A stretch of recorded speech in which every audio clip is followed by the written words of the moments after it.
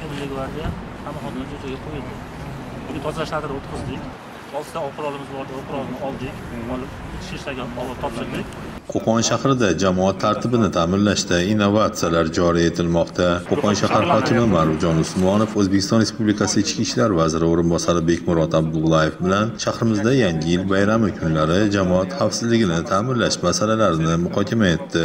Xususan, Qo'qon shahar Ichki ishlar boshqarmasi boshlig'i Anvarjon Parpiyev jamoat tartibini ta'minlash uchun qulay yangi militsiya to'siqlari namunasini namoyish etdi. Bekmurod Abdullayev Qo'qon shahrida yo'l patrul xizmati ulovlarini yig'ma to'siqlar bilan ta'minlash, bayram tadbirlarida jamoat tartibini ta'minlash bo'yicha ko'rsatmalar berdi.